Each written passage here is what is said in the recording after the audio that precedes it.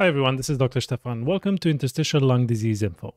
In the episode today, I'd like to discuss about cardiovascular disease in interstitial lung diseases and how this is really something that we should be looking out for, especially when we are dealing with patients who are a little bit older.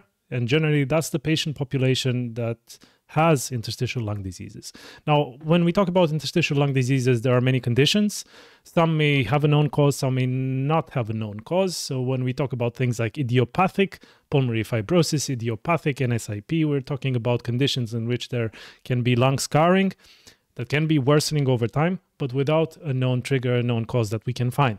And then we have the known causes, and sometimes we talk about interstitial lung diseases in which we have, for example, rheumatological diseases, and we call these connective tissue disease associated interstitial lung diseases. A mouthful, of course, but it just goes to show that there is a diverse group of conditions that sometimes may have causes that can be sometimes linked with uh, develop, the development of cardiovascular disease, depending on how these conditions behave. But I wanted to just make this video because I think in in my practice and things that I can see from the clinic, I've noticed that there are a lot of patients who present without a lot of cardiac investigations, and sometimes they may be diagnosed with pulmonary fibrosis, and this seems to be an end all.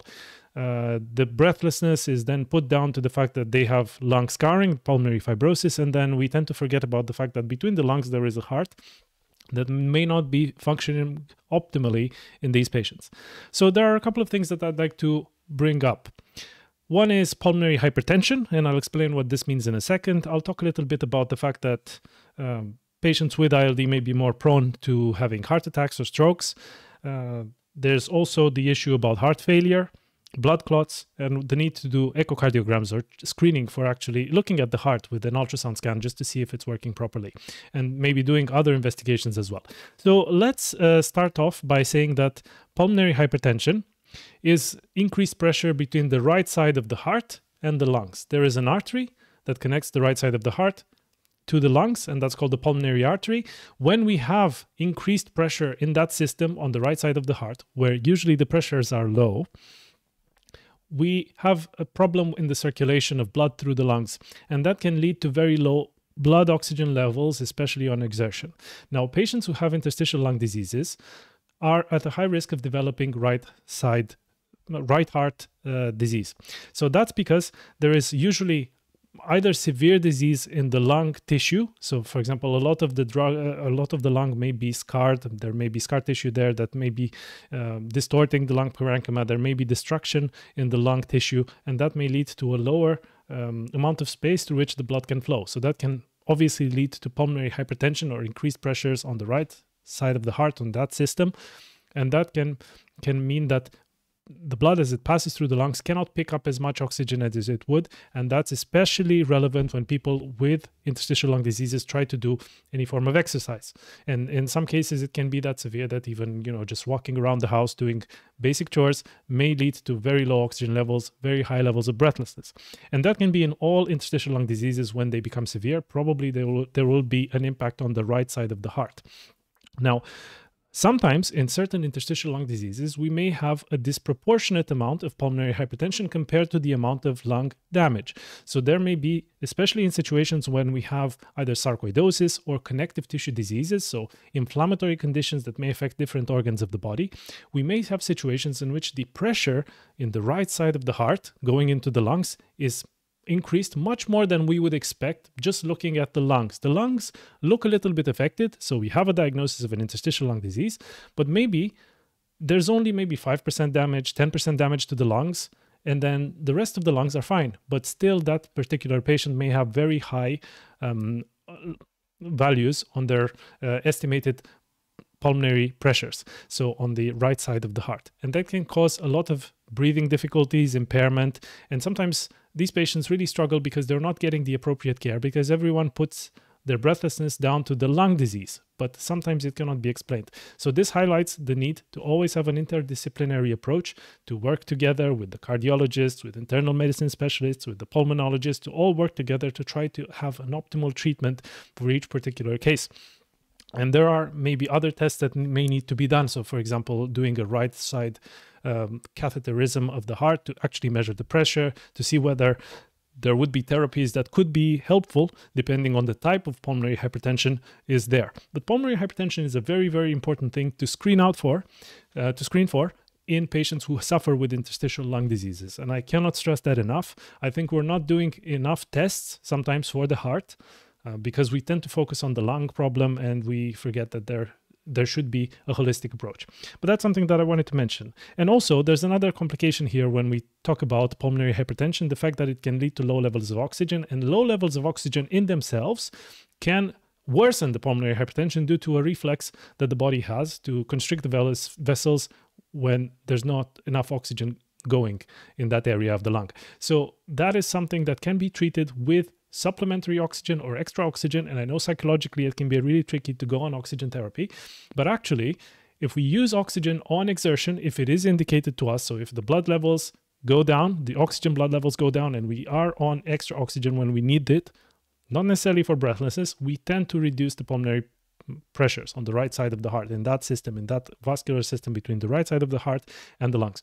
And that can actually reduce the breathlessness, keep the oxygen levels uh, more steady in the blood, and which can prevent complications in the long run. So, actually, going on extra oxygen, if it is indicated, as, uh, and I repeat that, if the blood levels are low, and if your doctor recommends going on oxygen, I know psychologically it can be difficult, but it is actually a form of treatment. So that can work to alleviate some of these uh, issues related to pulmonary hypertension. So that's one thing that I wanted to discuss. The echocardiogram is something that I would like to encourage uh, people to, to have done, especially if they have um, interstitial lung diseases. Not, not everyone needs an echocardiogram, an ultrasound scan of the heart, but I think it's a very useful test to have because it, first of all, screens for pulmonary hypertension, and I've discussed this at length just now, uh, but also it can find uh, potential evidence that there is also left-sided heart failure. So the, the heart has two basic systems. There's the right side, that is the left side, and they all work together. The heart is a complicated organ. It has four chambers. The two of them are actually pumping the blood into the rest of the body, and two of them are receiving the blood from the rest of the body. But they there are two systems which are running in a sequence. So basically, the blood that comes back from the body goes into the right side of the heart, is then pumped through the lungs to collect oxygen. It returns to the left side of the heart, and then it is pumped into the rest of the body. So the left side is stronger. It needs to push the blood very far into, you know, your fingers, your legs, etc.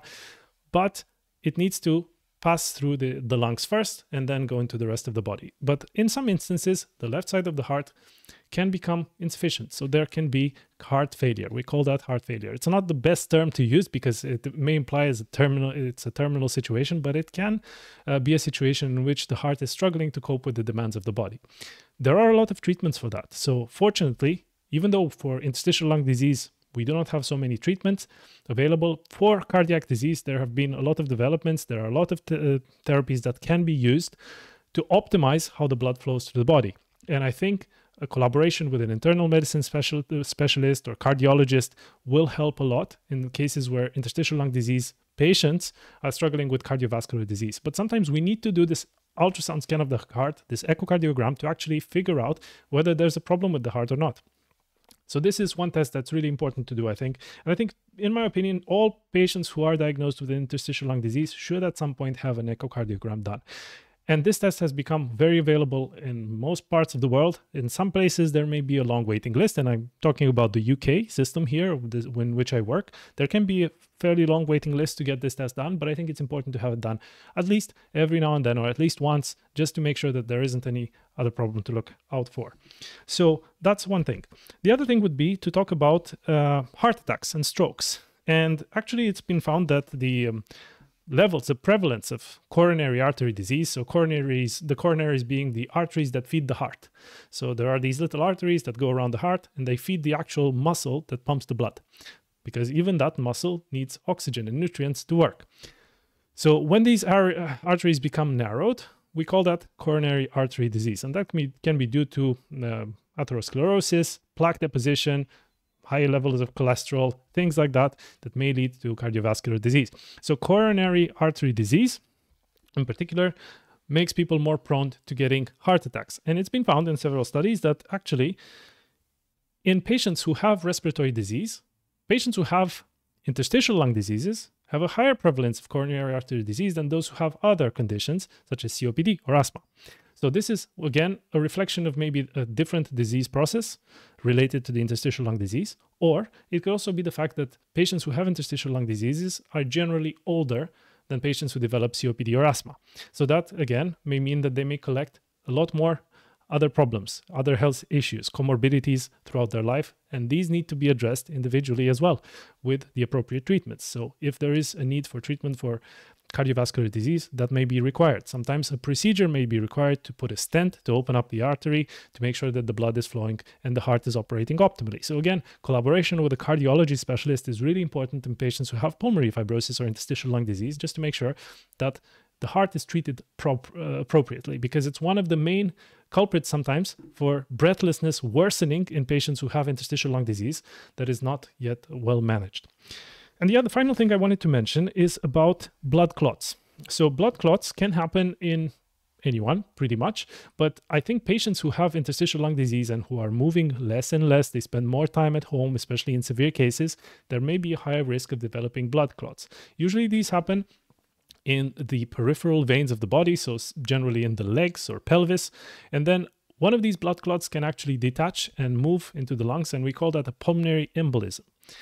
When this happens, there is an obstruction in the blood flow through a certain area of the lung, which means that less oxygen can be uh, absorbed by the body because there's some of the uh, some of the vasculature in the lung is blocked by that clot blood can't get through it cannot collect the oxygen to go into the rest of the body so again this can lead to problems with breathlessness that you know can occur. So these blood clots may be hard to diagnose sometimes, may be hard to pick up, but I think it's important for patients who have interstitial lung disease, especially if they suddenly become more breathless, sort of all of a sudden they become more breathless without a known explanation. Nothing else happened. There's no chest infection. There's no chest pain. There's nothing else. But suddenly they become more breathless, or maybe they have other associated symptoms, such as, for example, one leg becoming more swollen than the other leg, and red and tender, this is a sign that there may be deep vein thrombosis or a clot developing in the veins of the legs, and potentially a little clot can de- detach from there and go into the lung vasculature and the blood, blood vessels in the lungs. And that can again be uh, a pulmonary embolism, and this can lead to more breathlessness. So, this is something to be aware of. It's not something that we need to always be looking out for, that there is some kind of cardiovascular disease happening, but I think it's really important to think about the blood vessels feeding the lungs, feeding the heart, because if these systems are not operating optimally, even if we are trying our best to treat the interstitial lung disease with all kinds of conditions, well, with all kinds of medications, anti-scarring medication, anti-fibrotic medication, or potentially um, immunosuppressant medication, corticosteroids, prednisolone, things like that to treat maybe a connective tissue disease, it may not be enough to just give you these treatments. We may need to work together with other specialists, not necessarily related to the heart, but mainly the heart, because we are talking about a patient group that's at risk of developing heart disease. So, collaboration is key, and a holistic approach to patient care is really, really important. So, that's what I wanted to highlight in this episode just to be on the lookout for cardiovascular disease in patients who have interstitial lung disease. It's really important to look out for it and treat it well and appropriately for optimal outcomes. Hopefully this was helpful. If you have further questions, do leave them in the comment section below and I'll see you in future videos. All the best.